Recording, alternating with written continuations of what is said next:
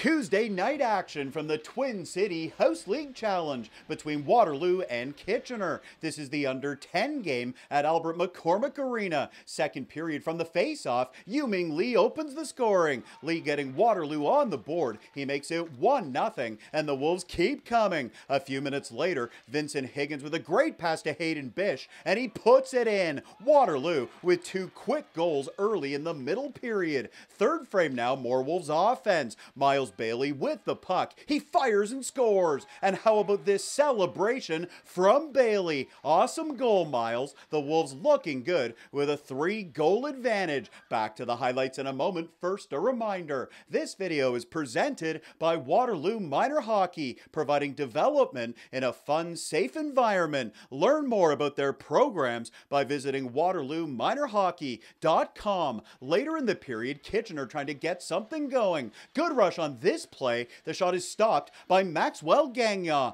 and he covers up for a whistle. Back the other way, Fletcher Zaborski is at the side of the net, and he puts it home. Zaborski is fired up. He gives Waterloo a 4 0 lead, and the Wolves coming through with a solid game. This is Jed Meyer skating in, and he buries another one. Meyer and the Wolves in control, and they celebrate as time expires. The Wolves pick up the victory. Maxwell Posting a shutout between the pipes. Waterloo wins it 5 0 in the under 10 game at the Twin City Challenge Cup.